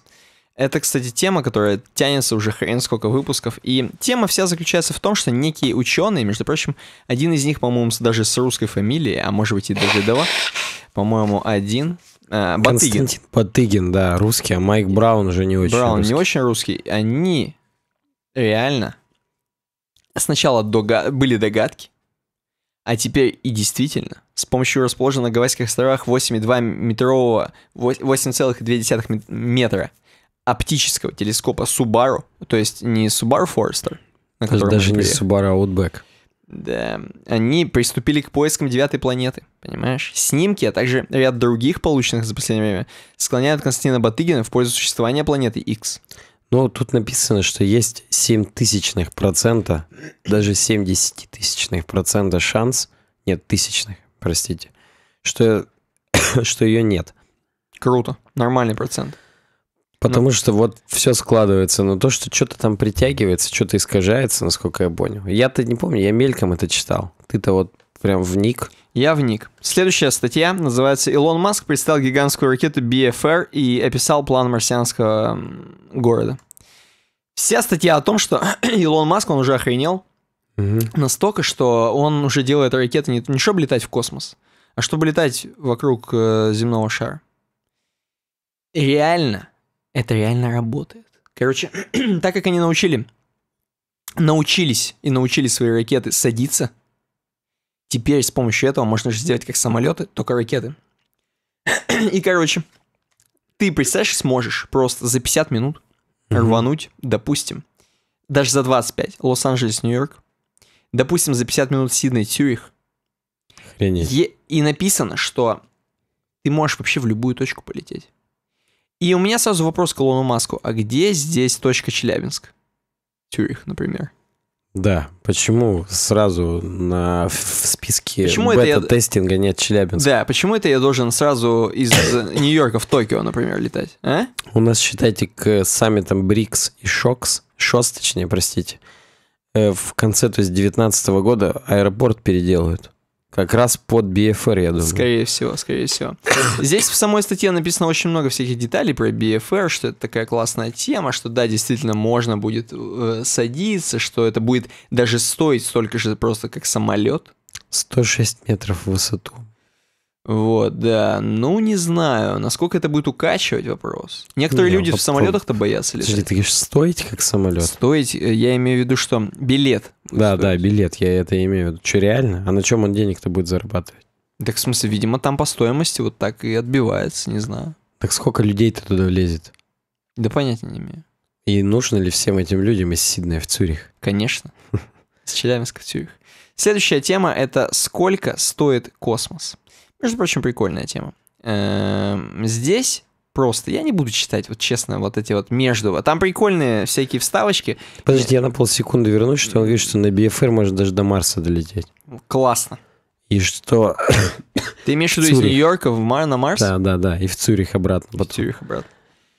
Следующая статья на Geek Times о том, что здесь вот прям вот пацаны говорят, что вообще-то космос это дорогая хреновина. И вообще дорогое хобби. Ну, это стереотип такой. Стереотип абсолютно, сейчас мы его разрушим, смотри. Точнее, в Давай. скобочках нет. Эм, здесь сравниваются специально какие-то вещи. Вот прям вот, я не побоюсь этого слова, какие-то прям вот Прям повседневщина. меркантильное дерьмо э, с какими-то разработками в космосе. И давай начнем с, ни- с низшего и пробежимся до самого высшего. Мгм. Э, за 40 лямов баксов можно было бы купить Феррари. Супер старая, очень коллекционная, охрененная Феррари 250 GTO. Эм, срав- сравнивается со стоимостью миссии Чандраян номер один, первой индийской миссии по изучению Луны, которая стоит 70 миллионов долларов. Да, то есть разница, конечно, почти в два раза, но масштаб все равно, согласись. Ну, соглашусь, хорошо, ладно. Хотя Здесь, дальше там масштаб будет здесь еще не больше показано. рвать. окей, душу рву, 60 лямов долларов. Я не буду просто говорить, что долларов, понятно, что долларов. 60 миллионов стоит э, постройка 27-этажного жилого дома Антилия в Мумбаи. Э, вот. И 79 долларов, то есть на 19, э, на 19 миллионов э, дороже, стоит э, миссия Мангальян, первого аппарата, отправленного Индией к Марсу. Что там Индия, что там Индия. Ну, чтобы нам удобнее было Но понимать. дом... сто- что ну, в Индии есть как умные люди, так и идиоты. Да, но супер дорогой дом э, стоит дешевле даже, чем миссия вот эта вот. Около 100 миллионов стоит э, пентхаус в City Spire Center. Я уверен, что это очень завышено, но тем не менее. Площадь около 750 квадратов. И около 112, что на 12 миллионов дороже, стоит миссия Хаябуса, э, доставившая образцы грунта с астероида Итакава. Понял? Э, давай сейчас именно убо- умопромрачительное дерьмо. Вот, например, про Pirates of Caribbean мне нравится. Да, да, мне тоже именно про пираты Карибского моря. Четыре- 417 тысяч долларов стоит Миллионов. миллионов долларов стоит замутить пираты Карибского моря на странных это, берегах. это последний, да, четвертая часть. Эм, Подожди, и- или это пятая? Это нет, пятая. Нет, это на странных Четвертая это берегах. про м, источник молодости. Ну вот да, короче, Fountain of Youth. короче, вы поняли, 400 лямов, а 660 лямов стоит миссия Dawn по изучению сразу двух небесных тел, астероидов Весты и Цереры. Ты вот, кто знает про пираты Карибского моря и кто знает про вот эту вот хреновую? Интересно, Да. Даже интересно. вопрос, что из этого хреновее. Э, Ой, ладно, давай, короче, опустимся в самый конец, на самое дно, а точнее, наоборот, поднимемся. Нет, Хотя- ну, мне хочется вот про небоскреб Бурдж Халифа в Дубае. А у тебя есть какое-то к нему отношение? Да, 1,68 миллиардов долларов он стоит. А миссии всех вояджеров с обслуживанием до 90 года полтора миллиарда. То есть вояджеры, которые летели на Юпитер, Сатурн, Уран и Нептун, дешевле, чем арабы сраные себе выстроили. Шпиль. Ну, понимаешь, что далее, далее, штаб-квартира Apple, огромное, огромнейшее здание, круглое, очень крутое, э, стоит 5 миллиардов. Apple Park называется, да, Apple бублик. Apple Park, да. И около 7 миллиардов, что на 2 миллиарда дороже, стоит строительство орбитальной станции Мир. Нашей Ну, и чтоб ты помнишь, мир, они же старые. старой. Это ее же затопили. Ее там столько Сейчас-то делать. МКС как. Да, да, да. Но тем не менее, да. Тем не менее. И давай-ка, давай-ка, вот знаешь, мне что понравилось все-таки, вот про авианосец. Мгм. 18 миллионов стоит авианосец. Я просто напомню вам, что авианосец — это корабль, который пере- перевозит самолетики.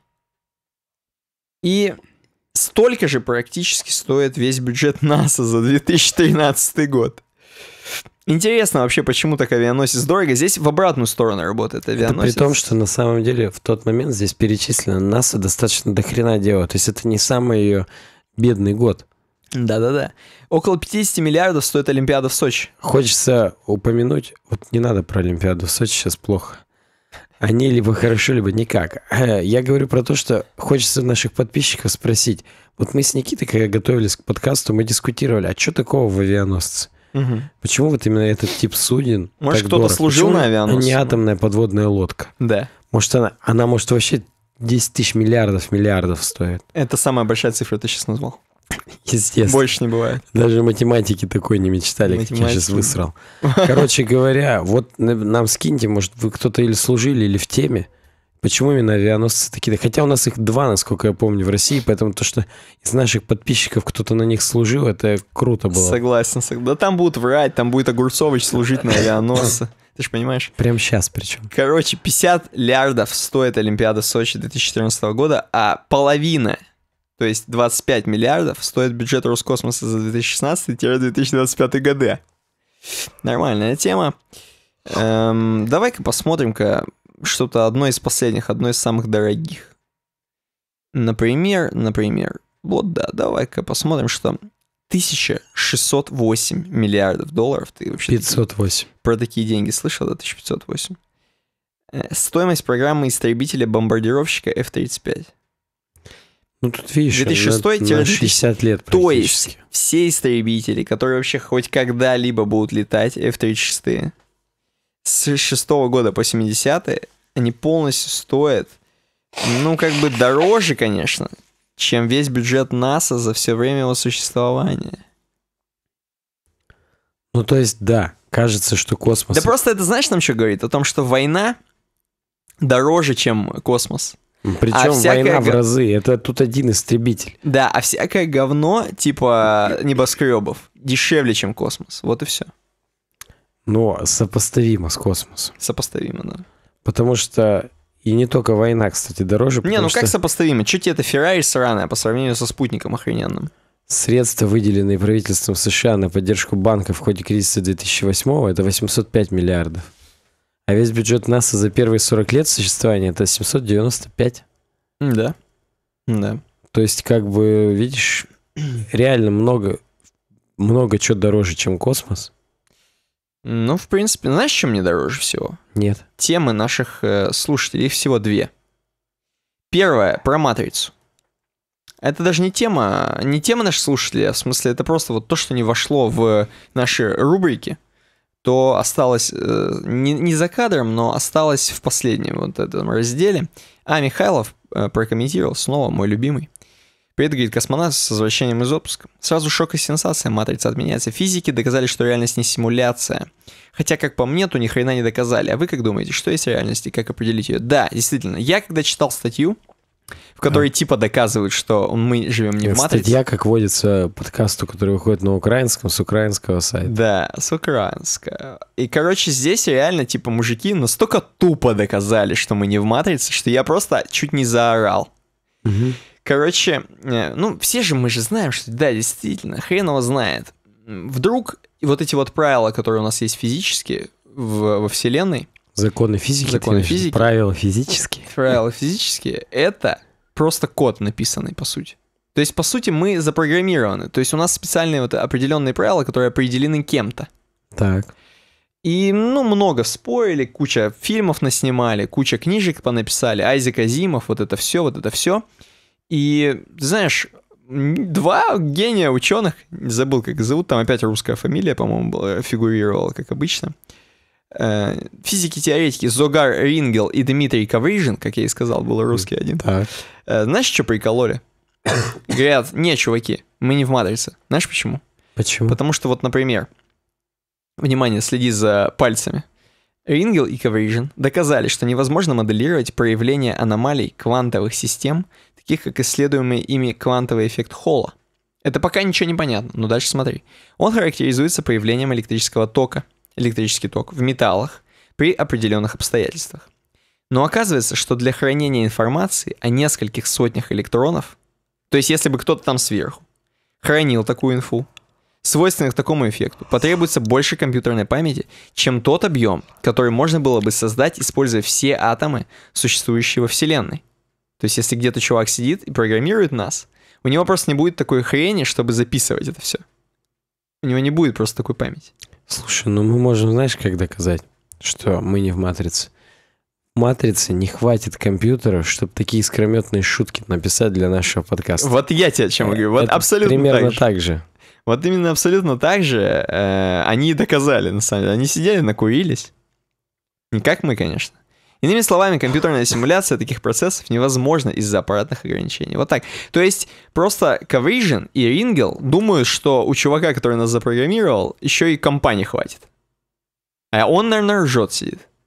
Как ты считаешь? Да уж. Мне кажется, что если уже и представлять себе, что мы в матрице, то там, наверное, не такая вселенная. Конечно. Там в одном атоме можно всю эту память Там уложить. просто слизняк один сидит и нами управляет. Какой